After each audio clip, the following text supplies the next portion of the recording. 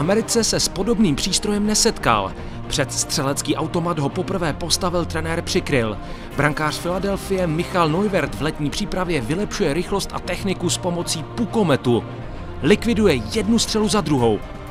Je dobrý mít takový ten pukomet, protože přece jenom, eh, když máte nějakého střelce, tak toho za chvilku přestane bavit, střílet 30 puků tady do toho místa, 30 puků tady do toho místa. Puky letají obrovskou rychlostí. Normální člověk jen kroutí hlavou nad tím, jak hladce Michal Neuvert puky schovává do lapačky.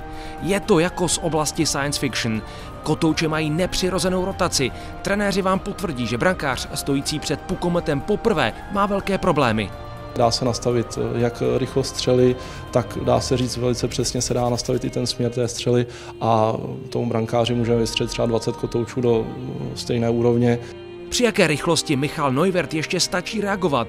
Kolik na něj během tréninku vyletí kotoučů? Jak se pukomet nastavuje? A jaké další cviky na suchu zařazuje Golman Flyers do své letní přípravy? Podívejte se na celou reportáž na novém webu www.hokejkatv.cz.